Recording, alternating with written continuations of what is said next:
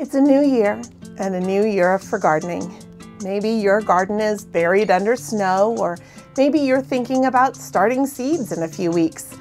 Maybe this is your first garden, or perhaps you're an old pro. No matter where you are and what stage of gardening you're in, there's something to be done this month in the garden. Here is your January gardening checklist. If you live in a warm part of the country, you should be prepared for cold snaps and deep freezes. Should cold weather head your way, there are a few things you can do to prepare your plants for the cold, and one of the most effective seems a little strange. Water your plants well.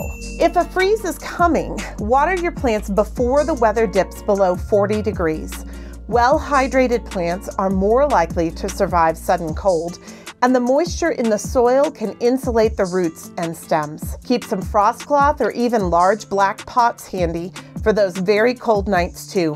It's surprising what a simple layer can do to keep your plants healthy. Knowing the average last frost date for your location is a critical tool for all gardeners.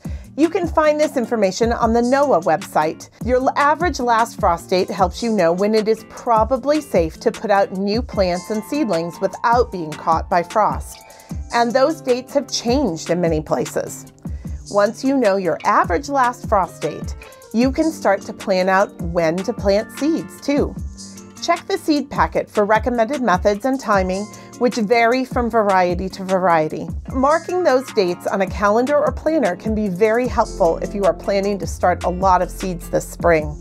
Just count back the recommended number of weeks from your last frost date and you'll know when to start seeds.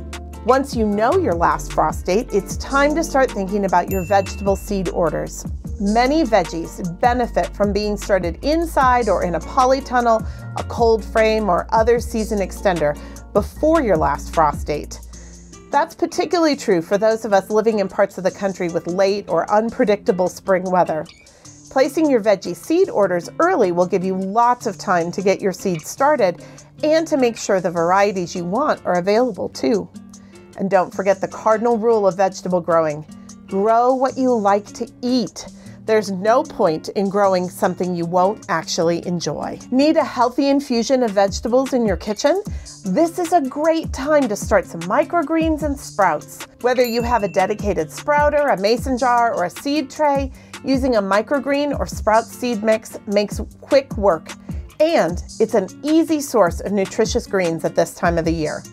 This is a wonderful project for young children too, they can see the changes in just a few days and can be eating what they grow quickly. Add sprouts or microgreens to salads, sandwiches, and other dishes. They're nutritious, fresh, and quick to grow. If you have a compost pile, be sure to keep an eye on it over the colder months. If you haven't had rain or snow in a few weeks, add some warm water on a day when it's above 40 degrees.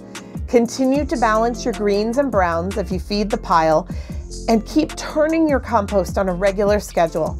It will continue to decompose, maybe at a slower rate than in warm weather, but it's still working for you. If you have a period of dry weather for two to three weeks, look for a warmer day, over 40 degrees, and give your trees a good soak. Healthy trees need moisture even in the winter, and giving them a deep soaking during a dry spell can make all the difference come springtime.